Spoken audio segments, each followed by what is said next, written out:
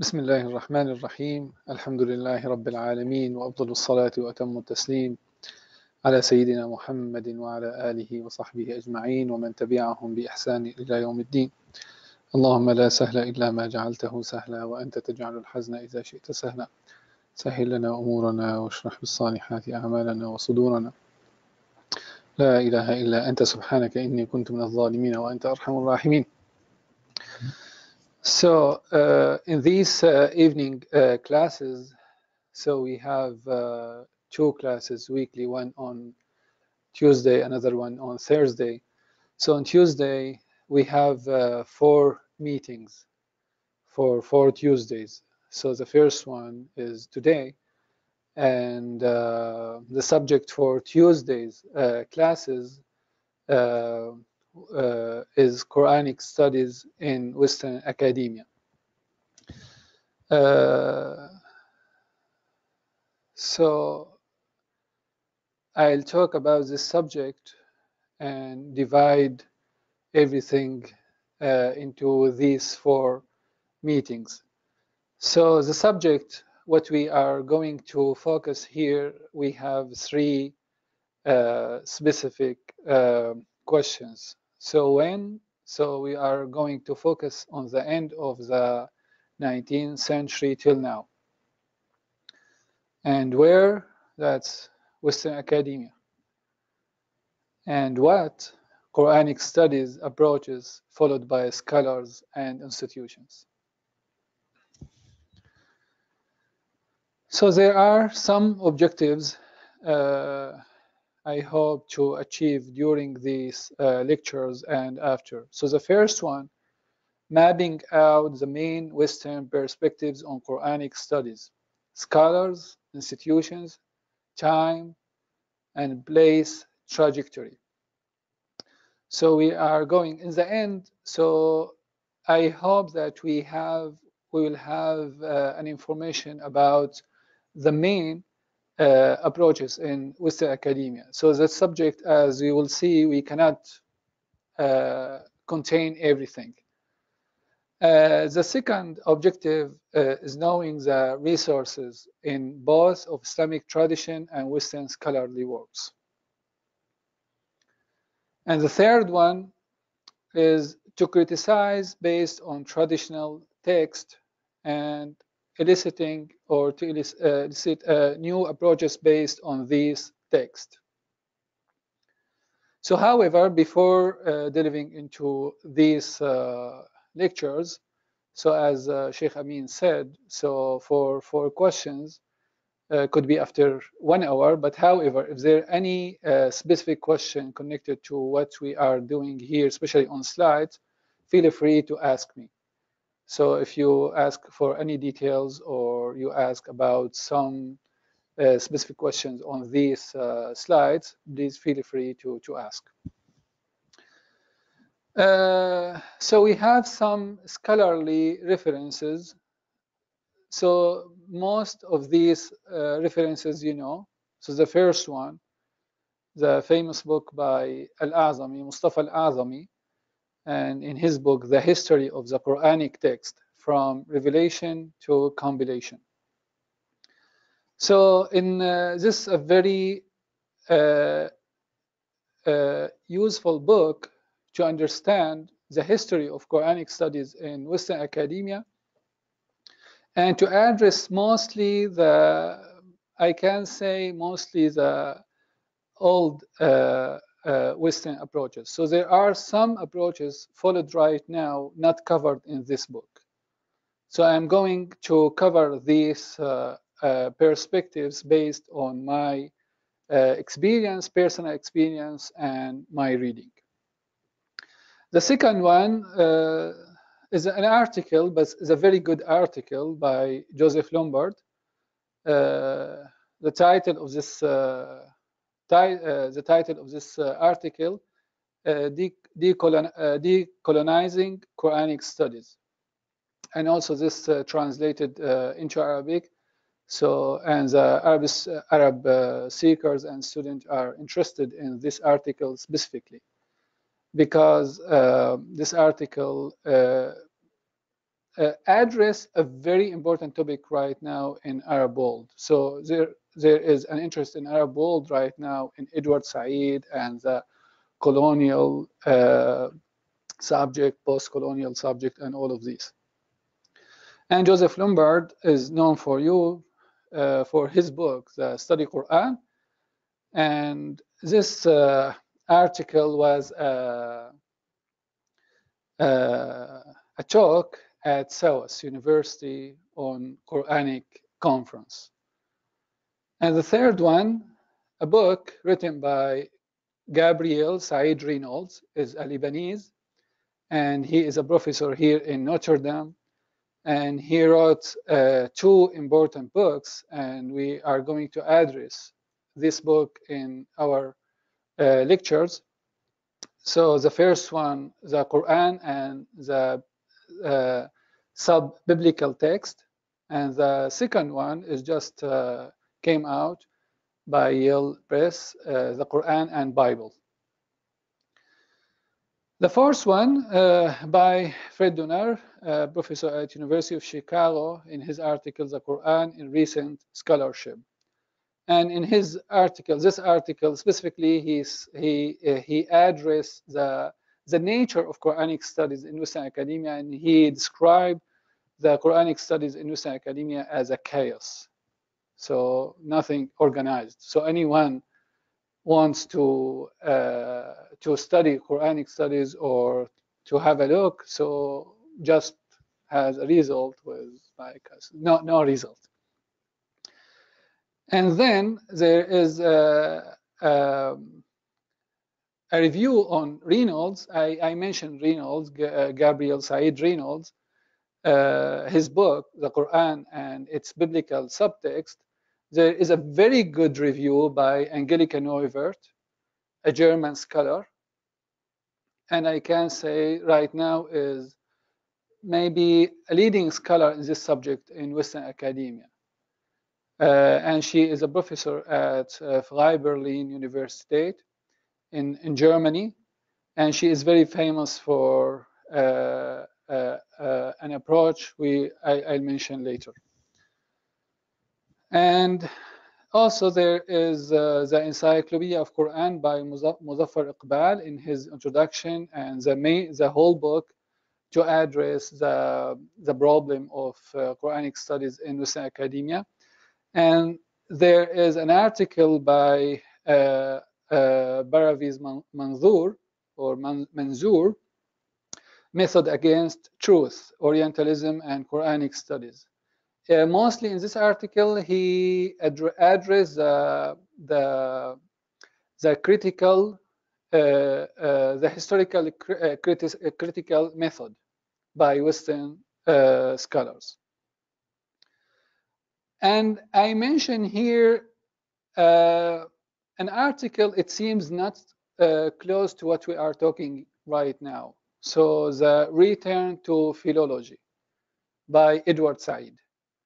So why this connected here? So maybe I'll, I'll talk about this later. Why Edward Said and why the, the importance of philology right now and the history of philology in the, this field and right now what we talk about the new philology and the future of philology among Western scholars. So I'll talk about the term later, and I'll talk about the importance of this book and how Arab use this book and how Arab use philology as a counter to philology. So philology versus philology. philology. So new philology versus old philology. And then there is uh, uh, by Jansen the, interpreta the interpretation of the Quran. Mostly he addressed uh, tafsir in modern time, and especially in Egypt. But in his introduction, there is uh, there are many, many good points to understand the Quranic studies in Western academia. And I put here Corpus Coranicum not as an article uh, or a book, but as uh, data on online. Corpus Coranicum is a project in Germany in the in the south of Berlin, in the city called Potsdam. And this uh, initiative or this program initiated by the uh, German government. And there is a big fund with millions of dollars. And for 18 years to, uh, to work on the history of Quran. And I can say maybe the, the biggest uh, project on Quran in the West, Corpus Coranicum. And then there is uh, uh, another article by Mahdi Azaiez, is uh, a Nigerian, and he is uh, also scholar, also, uh, teaching right now in France. He um, editing a book called The Quran New Approaches in French. And he, he presented this book with an introduction and with a different uh, different approaches in this book. Uh, Neil uh, Robinson, in his Discovering the Quran, he uh, addressed many, many things. One of these things, he speaks about some traditional uh, approaches, or I can say modern approaches by Amin Islahi and Farahi. So he, he, he talks about um, so the Indian approach towards Quran and uh, a famous book by uh, Michael Sells, Approaching the Quran.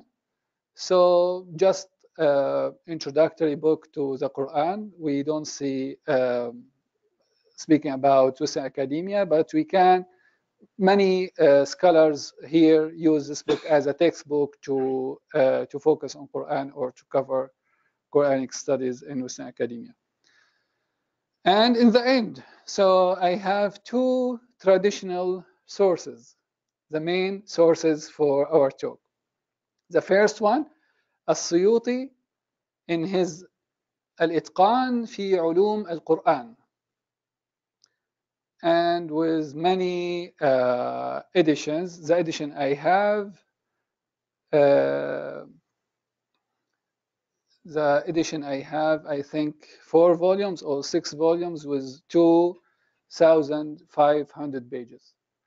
I read these 2,500 pages. I reread this just for this course, just for these lectures, to how to uh, to to uh, to discuss and criticize Western academia on Quran based on these traditions, and I'll talk about this later. And Al-Suyuti, Al-Suyuti's Itqan, uh, based mostly on Al-Zarkashi in his Burhan fi Ulum Al-Quran. So Al-Burhan fi ulum al-Quran and Al-Itqan fi ulum al-Quran, the main resources that we are uh, or we build our criticism in these lectures. So for these lectures, we have a couple of questions. Maybe we ha you have more. You come to these lectures with some expectations and some questions. So please add. So maybe I'll open the floor after these questions if you have more these questions or but just like when I come here, when I talk about the Quran in Western academia, what we can, what we, why we need that. So the first question, why the Quran is a matter for Western academia? This is a very important question. Why Quran right now in some universities, in some departments, you can see Quran taught at divinity or religious department or Jewish studies or history or anthropology, many departments in Western academia. So why the Quran is a matter for Western academia? This is a question I hope we have an answer for this. And do we need, as a Muslim community, to address this subject?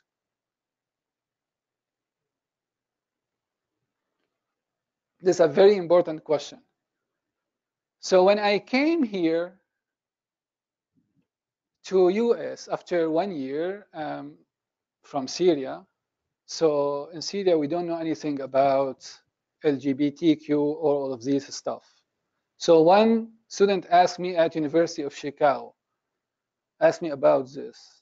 and I said, this based on hikmah, wisdom. So you don't need to address anything the audience not interested. But if you are in a society or a context, you cannot just ignore. You need to talk about this in a very good way, an obvious way. And here why we are talking about Quranic in Western academia. So you are here in the West and you need to talk about this. And maybe you have some, maybe the second generation or the third generation here, they will ask you. And they have a lot of questions from maybe professors at universities. So we need to know our tradition. It's not about like our ideas or our thoughts, our impressions. I'm good, I'm bad, I, I agree or not agree. We need to build our tradition. We need to address all of these questions based on traditions. And this is very important for us. So when we are in the society, address all of these subjects, then we need to address this subject and or to ignore that's based on wisdom. Did or do Muslim scholars in Arab world address the subject? So if you go to uh, the Arab library, they talk about Western academia and what X and Y, talking about Quranic studies. Yes. Yes, and that's the uh, this uh, shift started with 19th uh, century. So the first encounter between Western scholars and Eastern scholars we witnessed by with Goldziher and Sheikh Tahir al-Jazairi. They uh, send messages and ask questions, and that's in 19th century and uh, onward. So now we see the interest in Western academia in, in Arab world, especially in, uh, in some countries, in Egypt, uh, Tunisia, Morocco, and Saudi Arabia. And they invite uh, Western scholars to talk about Quran and Quranic studies there. There are some Western scholars famous for Arab world, and especially in some liberal uh, cities like Beirut or maybe Cairo, Tunis. They invited, and there are some like some groups. They are they know many things about Western academia and Quranic studies more than maybe Muslims here. And what their met methods to address these issues? So we can see different people. Some like just like traditional and ignore everything from the West. We don't need to talk about anything coming from the West. And others, so that's I can recall when I the first uh, PhD when I, I I, I wanted to write my PhD was uh, Dr. Itr, and I said I I want to focus on uh, Orientalist perspective on Hadith and Quran. And he said it's a very important topic, so go for it. But when I submit the proposal, the university rejected. We don't need to talk about this. And I understand. That's, yeah, I understand the environment and everything. But Dr. Itr said that because I understood from Dr. Itr when say yes, that's not, uh, not yes for everyone. And no, not know for everyone based on if you are if you understand what you what you want to do and understand what what uh, how you can deal with this yes you can do it so mostly in uh, in arab world so they ignore the subject or they accept the subject or in the middle but mostly they criticize western academia based on uh, not as holistic approach. They didn't provide uh, holistic uh, criticism. They criticize this point and that point, this scholar maybe made a mistake here and there. And speaking about motivations, intentions, and not focusing on the text. That's what we see mostly in Arab universities when we speak about Western academia. And why is the subject addressed here in Darul Qasim? So as um, Issam, I'm from Syria, and Darul Qasim is a very traditional place. I'm coming from Vanderbilt University. Uh, I'm teaching there at the Department of Religious Studies. So why Darul Qasim? Darul Qasim is very important for this subject because here we are going to address all of these perspectives based on tradition. So we'll not talk about this bad or not. So we, uh, we are going to map out all of these approaches and then we will go to traditions and read some text. And based on these texts, we can see how we can maybe we have answers, we don't have answers, and I cannot promise that I have answers for everything. So when we read, you can see you have maybe you have some answers more than me. Why I'm personally interested in this subject? When I left Syria, uh, I got a postdoctoral fellowship at Corpus Coranicum. So I worked with a group of Corpus Coranicum in Berlin, in Potsdam, on the, the history of Quran. So I worked there one year and I, I was there and I witnessed everything about manuscripts, the history and how they map out everything, the data and the methodology. And that's very important for me in my life to, to see how uh, these scholars. So I, I worked personally with Angelika Neuwirth there and with all scholars working on Semitic languages in Syriac, Hebrew, Aramaic, and all Arabian languages. And also after that, I went to University of Chicago Divinity School to teach for two years Quranic Arabic. So I worked with Dr. Michael Sell there and I taught Quranic Arabic there. And also I'm, I'm, I'm teaching right now at Vanderbilt Quranic Arabic and Classical Arabic. Uh, are Western scholars interested in Muslim criticism? Okay, so now we find some Arab researchers writing on this. So anyone from here, Western scholars reading what we what Arab like writing and Muslim writing, I don't see that. So we, we need to, to, to, to, to think about all of these questions. So, uh, so I don't see any like uh, Western scholar cited or cites anything like from Arab scholar, except these scholars who approaching Quran like in modernity eyes or liberal eyes, liberal lens. Like in Egypt, Nasser Hamid Abu Zaid, in, uh, in, in Tunisia, uh, Abdul Majid al-Sharafi, in Morocco, Muhammad Abid al-Jabiri, all of these scholars right now who are criticizing Quran and uh, uh, working on the history of Quran, they are very good resources and all Western scholars cite them. And the main scholar right now is Muhammad Shahrur.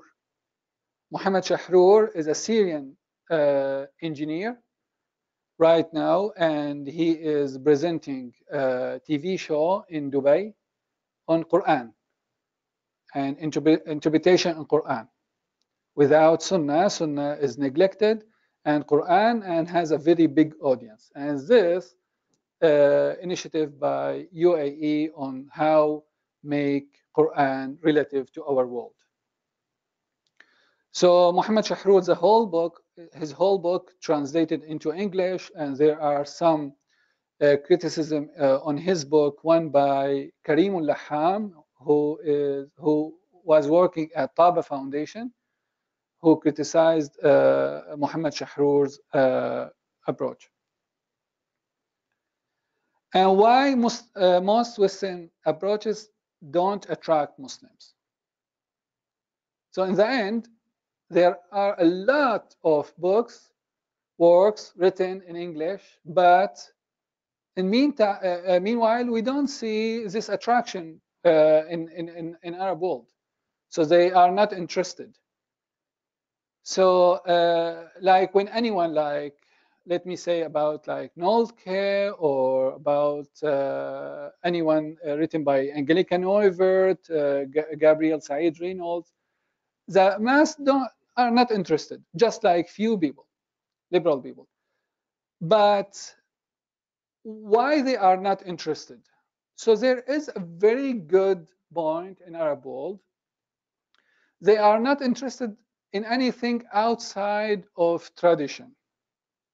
And also the political environment is a barrier may, uh, made between the West and East. So anything coming from the West is like in conspiracies is like not belong to us. But and what the uh, what are the approaches that attract or would attract Muslims?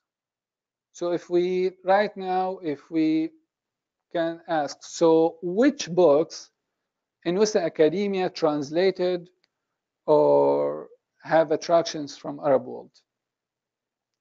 So one of them, the study Quran by Joseph Lumbard, so has a good attraction from Arab world. Why? Because based on tafsir.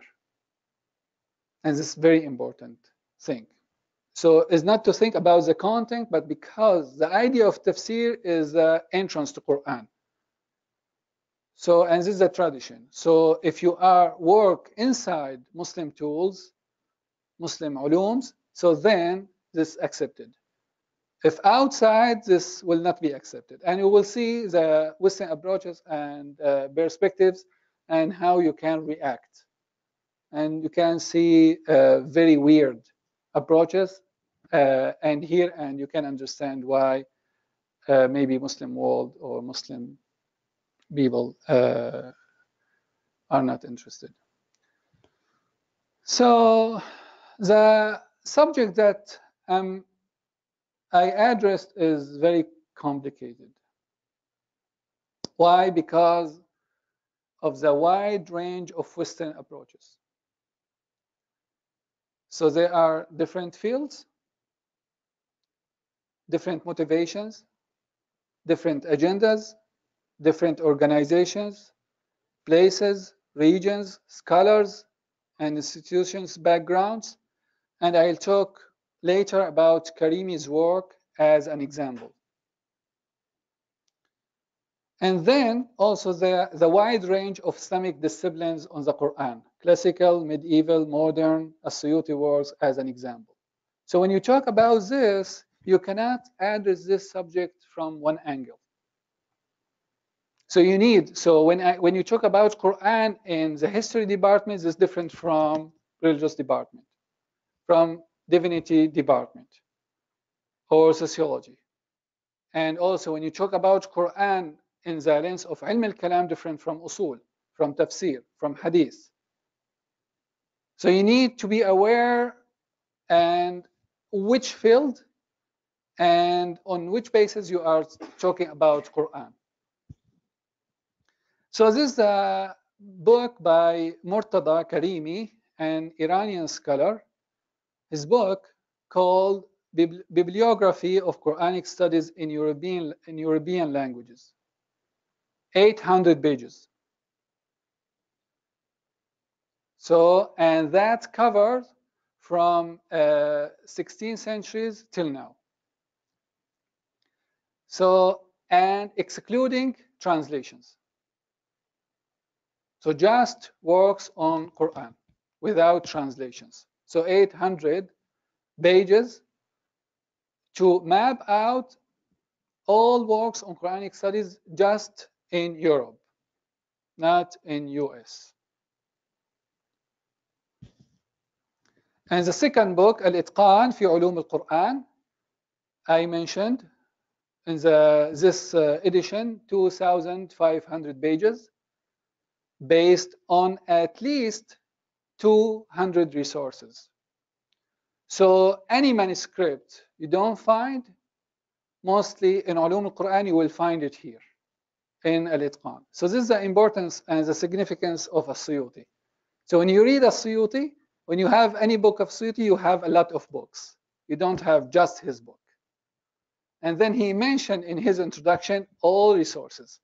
So the, the privilege of reading Suyuti or you having like Suyuti, yes, please. This as I see, I think from Saudi Arabia, مجمع الملك فهد لطباعة المصحف الشريف. And I want to uh, talk about this edition. Thank you. This is a very good edition and تحقيق is very good. So محقق, he uh, uh, provided uh, good resources and especially on any book provided by uh, As-Suyuti. Sometimes like just As-Suyuti mention a book, but this book is published or not published. So this book is very good to know the history of Ulum al-Quran and also if any book published or not published. Makhtut is a manuscript or Matbu' is published. And also he has a good index of around 500 pages. And uh, so the book is around 3,000 pages. So uh, when you read Al-Suyuti, you read uh, the history of any field. When you read Al-Ashbah wal-Nazair by Al-Suyuti, you don't read Al-Ashbah wal-Nazair just for Al-Suyuti. You read the history, and he uh, is very uh, interested in the history of any field. The, the first one who banned a book on this subject, and then the second one, the third one, and so this uh, uh, this aspect in As-Suyuti's book is very important to for for any student. So in the beginning, in the introduction of uh, Karimi's book, uh, written by Andre Rippin, is uh, uh, he, passed away just one years ago, and he is in the history department. He he wrote this, and to describe Karimi's book, it, it, referring to Karimi, it shows that the Quran has truly entered the canon of world literature, subject to analysis through a wide range of methods, approaches, and presuppositions. It also uncovers a hopeful message for the future. So after 800 pages, so so for the Western academia, so they reach Quran as so they cannot ignore the book. And why? Because more specifically, so Angelika Neuwirth, uh, her project, I can say, is a political project because her endeavor to make Quran as a European source not as an Arab source or Muslim source. What? Why? Because uh, she considered Quran came in a late antiquity era. And what does that mean? Late antiquity era between the third and sixth century. And in these centuries, there are societies, Jewish, Christian, Arab, and others. And when Quran revealed, he addressed and talked and argued with others, Christian and Jewish. So he, she considered Quran a source for Jewish and Christian. So if we want to know the theology, because Quran engage in theology of like Jewish and Christian. So if we want to know the about the uh, the new theology, we need to focus on Quran.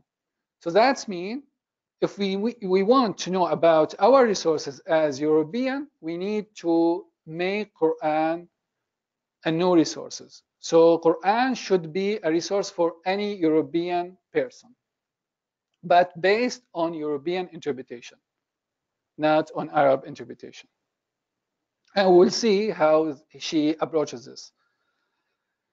So, but late antiquity is a very important uh, uh, era in the history of the West. And I just met the one who coined this uh, term at Princeton University. His, his age right now around 90. His name is Peter Brown. And who was the first, the first one wrote, wrote about late antiquity theorem and all of this stuff. So in late antiquity, as you see, so Islam just within a few years moved from tribes in Arab Peninsula and and spread in everywhere. So that's very important for everyone. What happened at that time? And how this changed? And then the question about Quran. What's the message in this Quran and how this happened? And then we need to focus on late antiquity as an era or uh, to re-study the history of Europe and re-study us as European based on this era, late antiquity. And before continue, just like I want to pause for any question so far. Yes.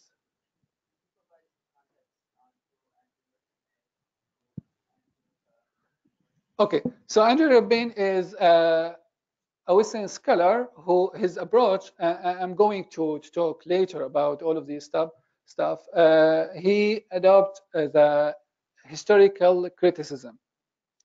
He approaches the Quran on, based on history, historical and uh, philological. I'll talk about this later. And Angelika Neuwirth uh, also is a scholar who worked on Quran in philological lens. What does that mean? Is just like to search and uh, study the history of Quran, how Quran evolved, how Quran uh, became as we have it right now, and what's the difference between Quran and Mus'haf, and what's the first Quran, and the history of uh, Quranic manuscripts. And this uh, maybe the main subject we will talk later. Maybe the will take a lot of uh, slides here.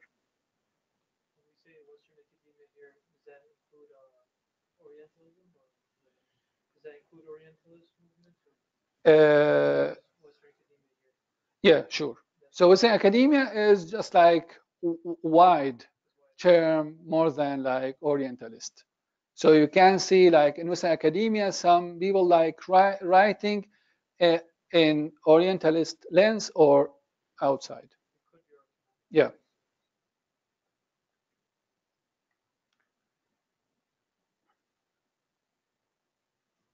Any question, uh, Javid, from the audience?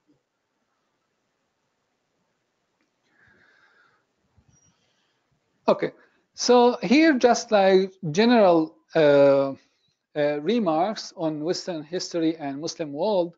So we can uh, see right now, especially in uh, Western academia, mostly interested in uh, Middle East. is important. Uh, Middle East is important, but not the heritage. They ignore the heritage. It's important right now in modern time, but about the heritage, it's maybe not important. It's just like maybe in some in some departments. Why? Because uh, Western philosophy based on three epistemes. So we can see the three epistemes, Greek, Christian, and modern. They ignore the shift and everything, the translation have been written by Arab from Greek and to the Western world. And now the Western world defined as Judeo-Christian world.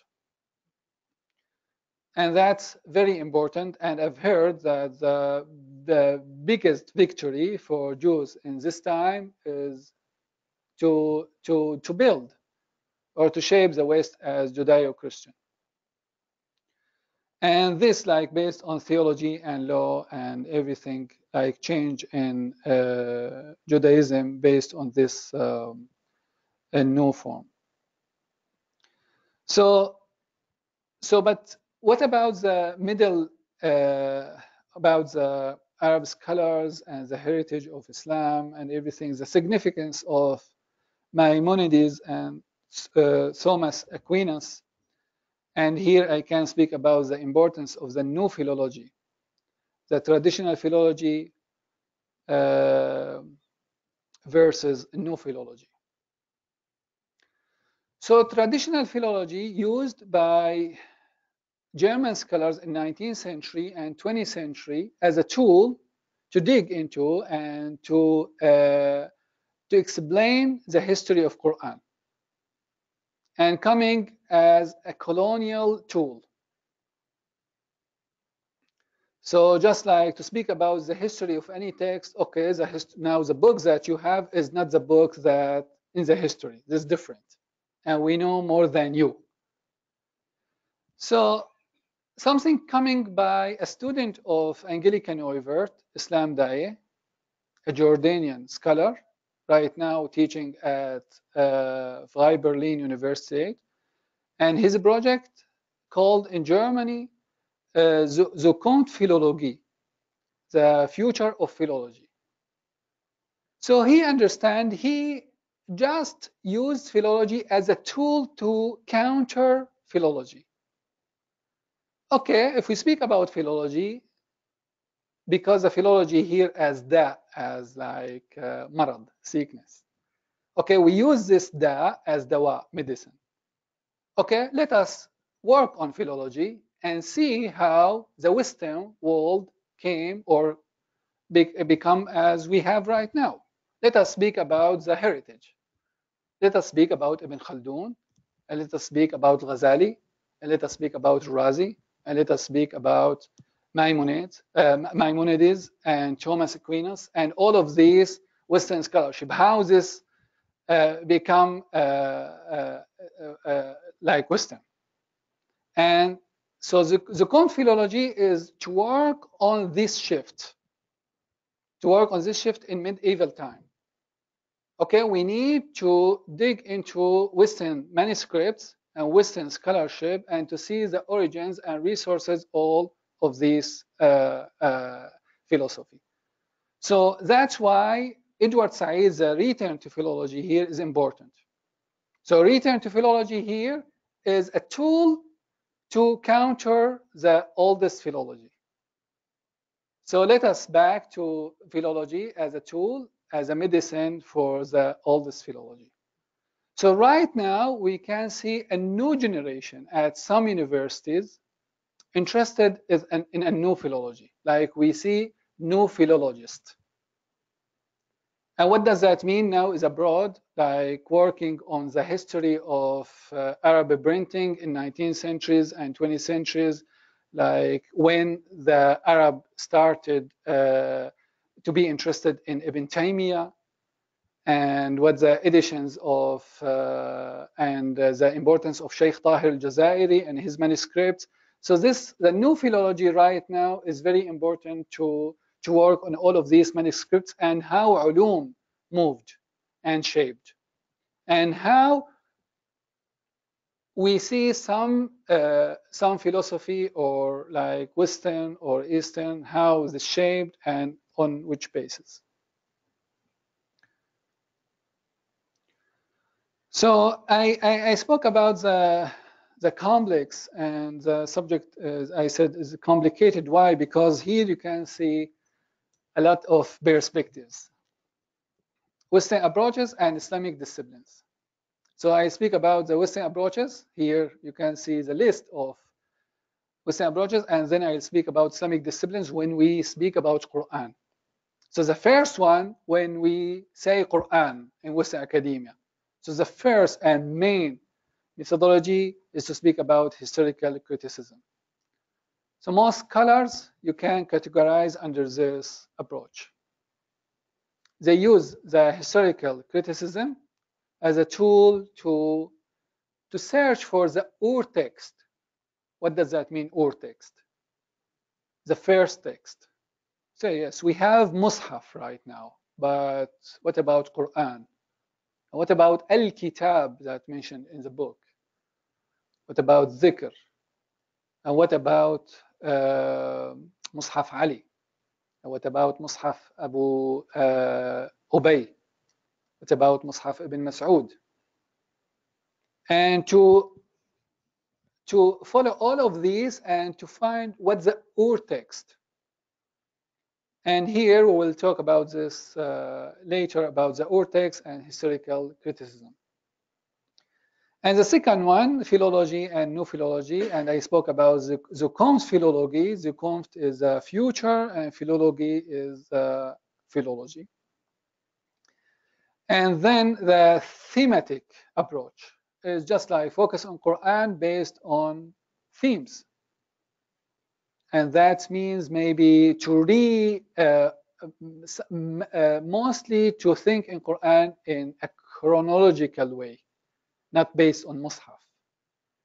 To come to Quran in the lens of Makki and Madani, in the history of Quran. So we cannot understand the themes of Quran we don't without understanding the history of the subject and or the evolution of the subject, how the subject is evolved during the Prophet's time. And then the uh, Semitic languages and rhetoric. And this is uh, I'm going to talk about this as a second main uh, uh, subject. So here, there are some, especially in the 70s of uh, 20th century, talk about the origins of the Quran. So many, many words in the Quran coming from Syriac, Aramaic, Hebrew, and outside the Quran and the main work by Christopher Luxenberg, and who I call Albani of Western scholarship. What does that mean? So there are in each field Albani, and in each field Christopher Columbus, uh, Christopher Luxenberg, the one who just make eyes open. And then people like engage, is he a scholar or not a scholar? And yeah, and Awam consider him a scholar, but Ahlul Tahqiq, not, not scholar. This happening in each field. But this like as a message from like Allah and just like to make people rebuild the ulum. Okay, Ilm al-Hadith in the 20th century is just like, and then Albani came and everything changed. And you can see that in ilm al-kalam, in ilm al-tafsir, ilm al-fiqh, usul al-fiqh, and in each field there is Albani.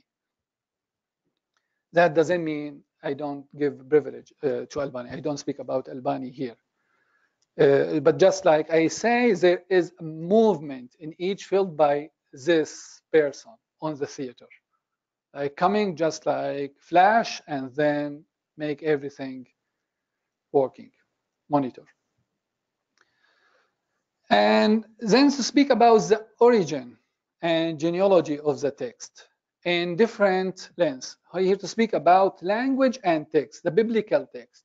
Okay, so Quran is just a book derived from biblical text. And this a new approach. Also, I'll talk about this maybe I think the second or the third. I, will I'll categorize all of these in four main perspectives later. And also, when you talk about uh, Western approach, you speak, uh, you should talk about colonialism and post-colonialism, and also to to read Quran in literary lens, and also late antiquity I mentioned already, and also semantic field. And here, this accepted by Muslim scholars right now, and especially in Arab academia. So everything coming from this approach right now accepted by a new generation in Arab world. And especially by, I'll talk later about a Japanese scholar, his name Toshihiko Izutsu. So he worked on Quran in the lens of like semantic lens, and he presented a very important book, translated his book in different, like a couple of editions, and a couple of works and just a new documentary on his life released one week ago. And he, uh, uh, his students uh, mostly from uh, uh, from uh, Muslim world, especially from Iran. example of semantic, example is, is also? The semantic approach. I'm sorry. The semantic approach. Okay. I, I mentioned an example. This later, okay? just like here to, to mention all of these uh, uh, uh, approaches. And then there is a ring theory. Ring theory is a very uh, new theory uh, to, to, to, to approach Quran based on surah. Each surah is a ring. And this based on Mus'haf, based on what we have, not based on chronological reading. So we read Surah Yusuf as we have it in Mus'haf and as a ring. And I'll talk about this in the last main approach. And also to speak about Quran in Western academia, you should be aware about the field of inscriptions and manuscripts and material evidence. And this a very big right now after Birmingham discovery, the, the oldest uh, manuscript and also Sana'a uh, manuscripts. And also to speak about Islam in Western academia and Quran specifically, you should talk about anthropology. Everything about anthropology right now in Western academia, when you speak about uh, religion and speak about Muslim and Islam. And in the end, uh, there are some approaches on coherence and nazm.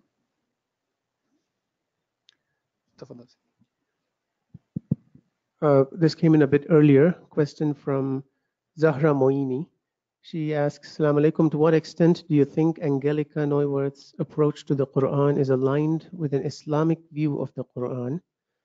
Though it is more friendly and welcoming to the Islamic view, from my readings of her works, it seems she is still involved in a project of historicizing the Quran as an quote unquote object of late antiquity, or at least an episode within a development of Christian Jewish theology.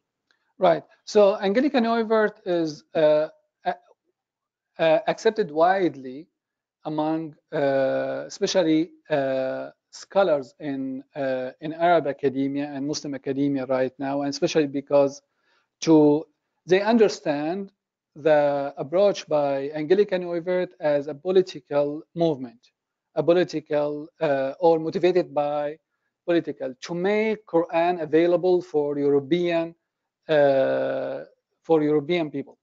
And how she addressed this, uh, she used a lot of tools. One of these, she said, 70s and Christian people ruin the field of the Quran. That in the 70s and after the World, uh, World War II and World War One, after the Jewish scholars uh, persuaded from uh, Western academia after Nazi war. So she thinks we need to go to the Jewish methodology based on hermeneutics and all of their uh, approaches to work on the Quran. So the same uh, approach used by Jewish on Torah, we need to use the same on Quran. And this is the project of Corpus Coranicum. She, she, she thinks we have the same fate, Jewish and Muslim, on hermeneutics and to understand the text. So from this lens, Muslims don't accept that. But for late antiquity, most mostly Muslim understands the idea of late antiquity because Muslim aware about Sira and how the movement and everything change very rapidly. So they understand the importance of late antiquity and why we understand and why we need to to to to to, to study Quran in late antiquity and what happened that time. But if we speak about our text and we speak about a lot of things for Zahra, and especially the main uh, the main uh, uh, approach, and this will be maybe addressed next Tuesday. We will talk about Neuwirth specifically about some cases. I think would be good to address this gradually later, step by step, and to see where we can see Neuwirth and her works, because her works based on chrono chronological reading and Jewish hermeneutics and Quran as a, a, late, a late antique text. Okay.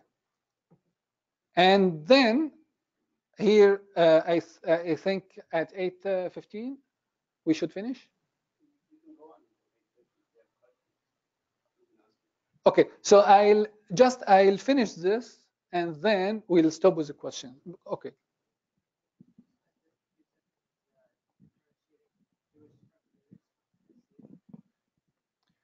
So that's that's a very important question. So Jewish hermeneutics and different from tafsir. So Jewish hermeneutics different here, like from what we have in traditional like Judaism, like how to approach uh, approach Torah. I speak about modern hermeneutics. It's not about traditional. I, I don't speak about traditionalist Jewish. I speak about hermeneutics in modern Jewish world. And that means to discover the old text, to discover the history of text. And that's not the way of traditionalist in like Judaism. So to speak about the literary and how the the the the, the, the, the text shaped and the history of text and uh, so mostly this started by German scholar by Abraham Geiger, Nöldeke, and then Neuwirth is a new uh, a new uh, movement in this series. So, okay, another question. Okay, so just I'll uh, go over this uh, slide and then I'll stop with uh, questions. So here to speak about Islamic disciplines, when you go to uh, Quranic studies, you should carry all of these tools on your on your shoulders to speak or to, to, to study Quran. The first one, tafsir discipline, exegesis, and ilm al-tafsir. So we cannot say that ilm al-tafsir started early. So for us, Suyuti said the first book written on ilm al-tafsir, written by uh, his Shaykh al-Kafiyaji and also al-Bulqini. That's mean in 9th uh, Islamic century. And also Ibn Taymiyyah wrote a book on قواعد التفسير or مقدمة في أصول التفسير. لكن as a genre, علم التفسير we don't see that. Until the like the book here السيوطي التحبير في علم التفسير. Do you see علم التفسير here as a title التحبير في علم التفسير. And then علوم القرآن also is a late also discipline. uh, start as a general by Zarkashi al-Burhan and reached the peak by uh, al-Itqan, which, uh, which is an introduction to his tafsir Majmaul Bahrain. And also when you study Quran, you need to know about qira'at. Not to memorize qira'at, but the history of qira'at, to map qira'at. And also gharib al-Quran. And that means to know Arabic languages, dialects, and foreign languages. What does that mean, foreign languages? We will speak that later about that later. Some scholars said in Quran there are at least 50 languages. Arab al-Quran, that means syntax, hermeneutics, and explaining meaning. And you will discover Arab is not a grammar for mufassirin. So when they say Arabul Quran, that doesn't mean to understand Arab and Nahu. Different. And Mufradat al-Quran and Wujuh wa Nazair, we'll talk about this later. And also Wujuh wa Nazair, there is another term called Al-Huruf al-Musarrafa. This is a genre called Al-Huruf al-Musarrafa or Al-Wujuh wa Nazair. And Wujuh wa Nazair here different from fiqh and is a, a, very unique term in ilm al-Quran, al-wujuh al-nadhair, in terms of mufradat al-Quran. And also to understand rasm al-Quran, orthography. And to understand the history of masahif and the history of mushaf and dotology. This a term, I don't know if just I coined to use dotology is how we can put dots. Okay, so for bait, do you see bait? But yeah, if you take all dots and all uh, vowels, how many possibilities you have? Around 70. Okay? Around 70. And then you will see a tool used by Orientalist right now to read Quran without dots and without vowels. They come and put the text without dots and without vowels. And then how you can read that. So if you give that to Arab, and now you can see in social media in Arab, like social media, they put that and they say, do you know how they Arabs like clever and read all the whole text without dots and puts just like a quiz for anyone, a text without dots and and uh, vowels. And you, when you read that, mean you understand Arabic. And this, you see, for some for some word, maybe 70 possibilities. Like especially for ba, ya, ta, or these letters, because for ba, five letters. Ba, ya, noon, ta, and tha could be, and another one. But the last one, this one, just three options. And with three vowels in the beginning and four vowels in the middle with sukun and three vowels in the end, multiply everything, that's 70. So dotology and codicology about manuscripts and how you can deal with manuscripts. And ishtiqaq. Oh, that's very big. Ishtiqaq saghir, ishtiqaq kabir, and ishtiqaq akbar. The fiqh al-lugha. Fiqh al-lugha هو الاشتقاق. How you can uh, understand اشتقاق and how you can uh, uh, um, uh, connect the words based on اشتقاق. And also صرف, you can say morphology, and some people use morphology for nahu, but uh, صرف mostly uh, uh, concern about the entire world, word, is not the end, not the ending case. And hadith criticism. Maybe you will ask a question. So we have a lot of reports in these lectures and then reports. So then how Muslim scholars criticize these reports? Because maybe for you, maybe the first time you see this like tradition. Is that what we have in Itqan? Yes. But then there are some scholars who criticize all of these, which Orientalists don't accept. This is a struggle. This is a war. Hadith is a war. Hadith is, the, I'm sorry, not Hadith a war. I'm sorry. Hadith is the tool in the war between the two camps. If you go from inside, if you have Hadith, Hadith as mustalah is a very important equipment, weapon. And also Hadith as text. And that's what we said in the history of Islam. If anyone يجادلك and argue with bid'ah, عليك بالحديث, not Quran. Because hadith can discover everything. So hadith is two tools, as a text and as a terminology, both of them. And then in the end, there are other ulum like usul al-din, uh, usul al-fiqh, and al-fiqh. And I'll stop here. If you have any questions, uh, uh, if you don't have any questions, and I'll see if we have time to. Yes, definitely. That's a very good question. So I think the first volume translated a very bad translation. And there is an initiative right now at Vanderbilt University with a professor Richard McGregor uh, with some scholars to work on this. And I understood, I understood that Alexander Knysh from Michigan University is working at uh, translating a Suyuti right now with some scholars. Alexander working on the history of Tasawwuf and uh, Tasawwuf generally. Yes, Afadal.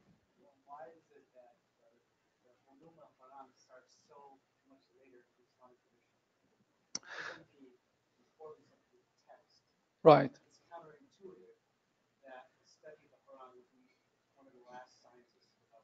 That's a very good question. So, ulum al-Quran is same as another genre is called, called ulum al-hadith, right? Or mustalah al-hadith. And why mustalah hadith started very early? Because mustalah hadith based on what? Based on isnad. So Quran we don't need isnad. So mostly on Matin. And when we speak about matin, so what, where's the matin of ulum al-Quran? Tafsir. So tafsir is uh, working on the matin. But ulum al-Quran as a genre, but ulum al-Quran doesn't like speak about isnad and all of these techniques. So then we see in tafsir many scattered subjects like here and there. At-Tabari mentioned some, Al-Razi mentioned some, Al-Baydawi, Al-Zamakhshari, and then all of these combined. And the first book as Suyuti said, the first book written on Ulum al-Quran, Funun, uh, Funun uh, uh, I think Funun al-Afnan by Ibn al-Jawzi, but he said nothing about Ulum al-Quran. It's just about, we cannot say that Ulum al-Quran. And then he said the first book written on Ulum al-Quran is Az-Zarkashi. Why this later? I think, and maybe there are some different uh, reasons for this. I think because the idea uh, for ilm here is to focus on the, the way of narrating or the content. And the way of narrating for ulama is not important to speak about how we narrate Quran because that's mutawatir and outside of uh, out of questions. But it seems in al-itqan is not out. We need to address this. So around 700 pages in Al-Itqan to speak about Isnad in Quran and to speak about Qira'at. And he addressed all of these important questions that we have right now. So now if I ask you, is Quran mutawatir? You say yes. And then if I ask you, is Qira'at mutawatira? It's another question. Mus'haf mutawatir? And حروف السبعة متواترة? And, uh, and then القراءات السبعة القراءات العشرة okay all of these questions addressed by al-itqan and we see a very rich discussion by ulama on all of these questions and now if we we read these inshallah we will see that's mentioned by Asyuti mentioned in different resources everything here I'll mention by Asyuti is based on resources and some resources in the third century, like Al-Masahif by Ibn Abi Dawud, Ibn Ashta, or uh, to speak about Mus'haf Osman, or, or all of these. So we see that all of these scattered in many places, but not under the genre of Ulum al-Quran Okay, some under the Rasim, some under the, the history of Mus'haf, some under the, the Qira'at, Ahruf al-Sab'a, Al-Lughat fil Quran, and so on. But then Asyuti combined all of these and give uh, uh, the, the title الاتقان في علوم القرآن but uh, I said preceded by الزركشي البرهان في علوم القرآن I don't know if my answer match your question. But however I maybe I, I said there are different reasons for this. And uh, we can think about that maybe now and second lecture and why. And we see like different resources but why that's not an early uh, an early book. Uh, Mohsin Ali asks, what is the difference between ulum al-Quran and ilm al-tafsir as disciplines? That's good. So ulum al-Quran to speak about not the text. So ilm tafsir right now is derived mainly from ilm al-dalalat al-usuliyah. To speak about iqtida, ishara, nas, zahir, and this ilm al-tafsir. So then when ilm al-tafsir, we speak about tafsir and ta'wil And تفسير and تأويل as, uh, as uh, specific terms in أصول الفقه or as a general terms. So علم التفسير is about what we call interpretation and hermeneutics. But علم القرآن to speak about how the history of Quran, speak about the history of Quran, the history of Qira'at, and Qurra, reciters, the history of reciters, طبقات القراء, Rasim, Makki, Madani, this is different from علم التفسير. So when you go like to see Al Tafsir by Ibn Taymiyyah, Muqaddimah fi Usul al-Tafsir, we don't see anything about Qira'at and Qurra and Makki and Madani. But we see that Al-Muhkamu is this and that, and Al-Mutashabih is this and that, and Nas is this and that, and how we can understand the text if they contradict each other. The idea of Ta'arud and how we can uh, compare the text. This is the idea of tafsir, and this is the idea of ilm al-Quran. So this, they are different genres. There are some subjects overlapped, but mostly al-itqan is al-bahr al-muhit. In al-itqan, bring all ulum to his al-itqan. So in al-itqan, what you can see? Al-itqan, you can study al-balagha, the whole balagha. If you just don't want, if you don't want to bring to your library any book on balagha, bring al-itqan. There are around 600 pages on al-balagha. If you don't study i'rab, bring al-itqan. If you don't bring uh, any book with i'rab, bring al-itqan and same with like hadith and many many things A question from Javed Kachalia. Asks, you mentioned about Al-Itqan. What is the difference between the new edition and the old? Would the old edition belong to Suyuti, whereas the new has been added by contemporary scholars? i understand the I, am sorry What is the difference between the old edition of the of Al-Itqan and the new edition? uh, english or He doesn't specify. uh, uh, itqan Mhm. it's a question about Yes. itqan so so always always the general the general uh, He's asking about the Arabic. He just clarified. uh, about Arabic. Yeah. So I, I don't know if I, I can recall anything I said about uh, new edition and uh, old edition- edition. Did, did I speak about Itqan or another book? Yeah, right. I don't speak about old edition and the new edition of Al Itqan. Yeah, I, just I said this edition, but I don't compare this edition with others. I said this good edition, but always if there is an Hajari like this Indian, like old Indian uh, edition, if you find any any this like Hajari or like uh, old edition, the best. He says the old edition he has is only two volumes. And what's uh, who's the editor? We'll find out. By Al Kashaf Sayyidi.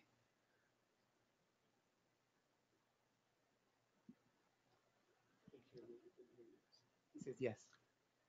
He said yes to, Yes, for what? I think, Sayyidi. Kashif Sayyidi. Is that what you said? Oh, okay.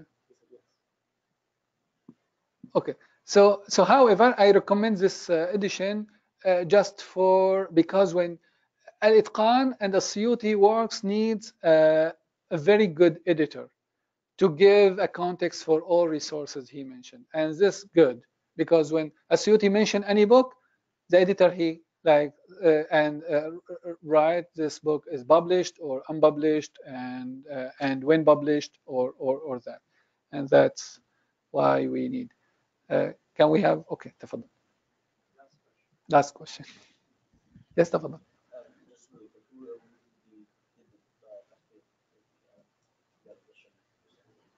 and what the who is the محقق I think a group uh, here called مركز الدراسات القرآنية مركز الدراسات القرآنية so could be like um, maybe two three four but I think مركز الدراسات القرآنية uh, publishing good good works in, uh, in Saudi Arabia. And based on my reading, I, I found this tahqiq is, is good.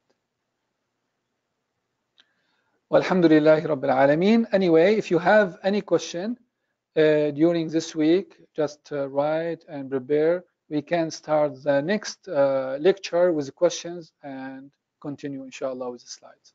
Wassalamu alaikum.